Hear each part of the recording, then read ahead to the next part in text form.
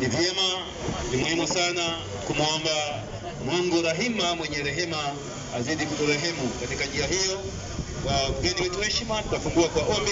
Namwalika ah, mchungaji Lucas Sabuni kufika mbele kwa ombi. Karibu mchungaji Lucas.